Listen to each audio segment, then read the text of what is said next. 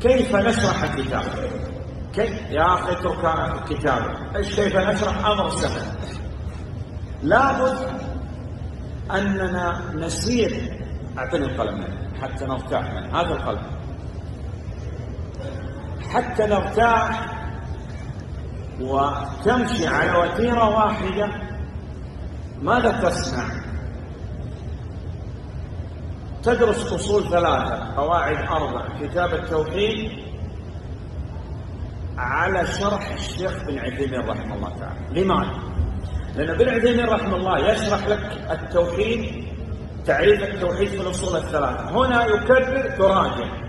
لكن لو تأخذ مثلا شرح بن عثيمين للأصول الثلاثة رحمه الله والشيخ الفوزان لكتاب التوحيد حفظ الله حفظه الله. هذا تقسيم وهذا تقسيم وهذا تفريع وهذا تفريع. لا تستقيم معك الأمور وبعد هذا تقول والله لا أدري هذا هو قول ابن باز رحمه الله أو قول الفوزان حفظه الله أو قول ابن عثيمين رحمه الله الجميع لا تمشي على وتيرة واحدة. كان الواحد من السلف يأتي لعالم من علماء السلف يأخذ عنه العلم ثم ينتقل إلى العالم الآخر. ثم هذا الشيخ الآن لو تتلمذ على ابن عثيمين رحمه الله وأخذ كل مؤلفات ابن عثيمين وضبطها إيش يخرج؟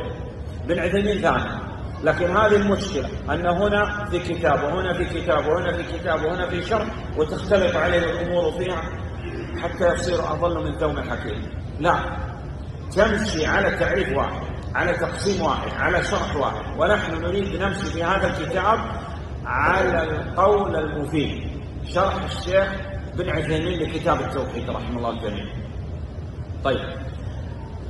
الشرح هذا كيف سيكون؟ سيكون إذا الكتاب المعتمد ما هو؟ القول المفيد للشيخ بن عثيمين رحمه الله تعالى. عندنا ملخص لهذا الكتاب لكن الملخص لا يبني عن الكتاب الأصلي. طيب. كيف سنشرح الكتاب بإذن الله؟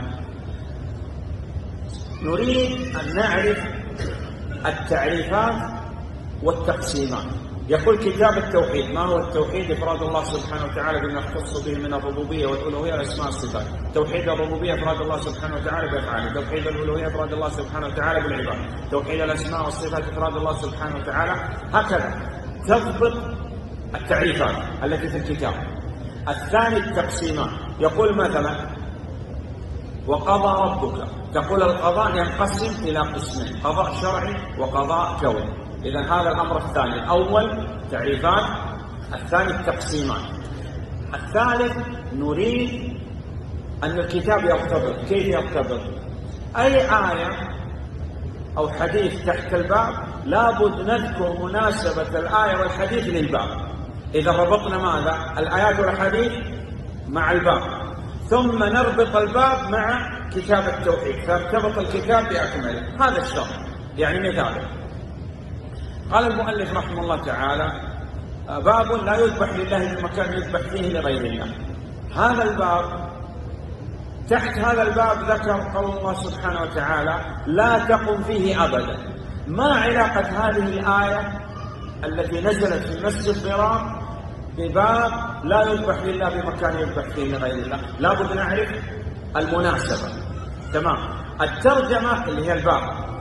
باب ما جاء في المصورين ما علاقة التصوير بكتاب التوحيد تقول التصوير خلق وإبداع ومضاهاة لخلق الله وله علاقة بتوحيد الربوبية وتعدي على حق الله سبحانه وتعالى أو أول شيء حدث في الأرض شبهة التصاوير والتماثيل وله علاقة بكتاب التوحيد. يعني ممكن واحد يأتيك ويقول هذا الباب باب ما جاء في المصورين لابد أنه خطأ بعض النساخ أنه بعض النساخ ذكر هذا الباب وهذا له علاقة علاقة بكتب الفقه حتى يرتبط الكتاب بأكمله. هكذا نريد نشرح الكتاب فقط.